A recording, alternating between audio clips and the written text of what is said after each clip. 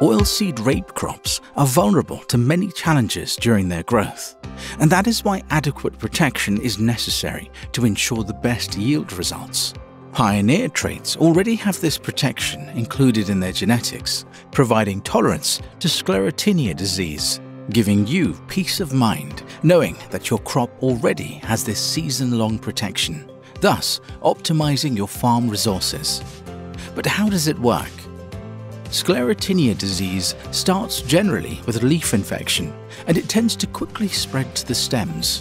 When the stems are infected, they start forming lesions. When conditions are favorable to disease, the lesions extend and plant damage will extend.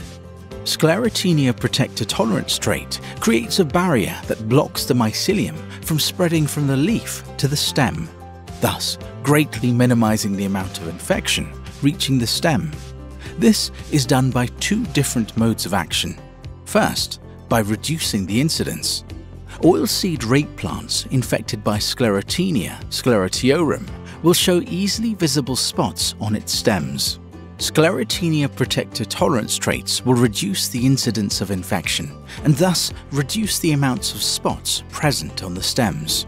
Second, by reducing the severity Sclerotinia protector tolerance traits will also reduce the intensity of sclerotinia lesions, therefore reducing the development of the disease within the plant. The severity impact is reduced by 40% to 70% when compared against sensitive checks.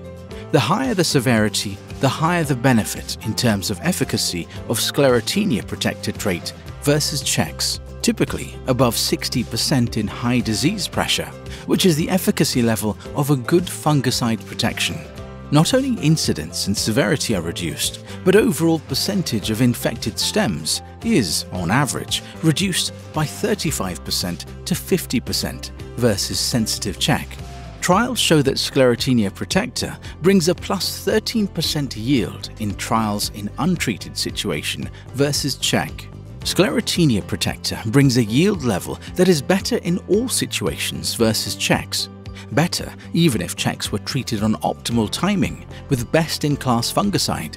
This empowers biological control to reach efficacy levels close or equal to chemical solutions. Hybrids with Sclerotinia protector trait are consistently above checks in all range of disease pressure observed.